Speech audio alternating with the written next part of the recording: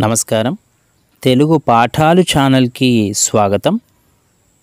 కొంతమంది ప్రజలు తన వద్ద ధనము లేకున్నా గుణము లేకున్నా పదవి లేకున్నా ఇతరుల యొక్క ధనాన్ని ఇతరుల యొక్క పదవిని అంటే తన స్నేహితులు కావచ్చు తన చుట్టాలు కావచ్చు తన బంధువులు తన చుట్టుపక్కల వారు కావచ్చు వారి యొక్క ధనాన్ని పదవిని అధికారాన్ని చూసి గర్వపడుతూ ఉంటారు.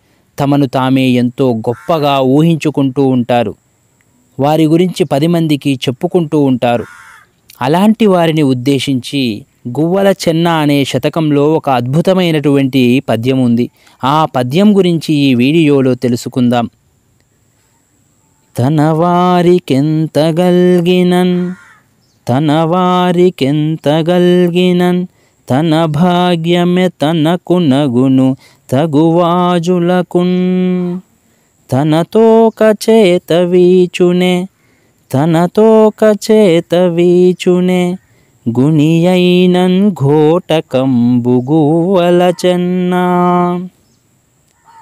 తన వారికెంత గల్గినన్ తన భాగ్యమే తనకు నగును తగువాజులకున్. తనతో కచేత వీచునే గుణియైనన్ ఘోటకంబు గువ్వల చెన్నా ఓ గువ్వల చెన్నా తన వారికి తన స్నేహితులు తన బంధువులు తన చుట్టుపక్కల వారు తనకు తెలిసిన వారు వారికి ఎంత కలిగినా ఎంత జ్ఞానం కలిగినా ఎంత సంపద కలిగినా ఎంత అధికారం కలిగినా కూడా తన భాగ్యమే తనకు ఎంతైతే ఉందో అంతే తనదవుతుంది. తను ఏ పని చేస్తున్నాడో తను ఎంత సంపాదిస్తున్నాడో అదే తనదవుతుంది. ఆ గౌరవమే తనకు దక్కుతుంది తప్ప ఇతరుల యొక్క ధనము ఇతరుల యొక్క గౌరవం మనకి రాదు కదా. ఇది ఏ విధంగా అంటే తన తోక చేతవీచునే ఒక మంచి లక్షణాలు కలిగినటువంటి ఒక గుర్రము.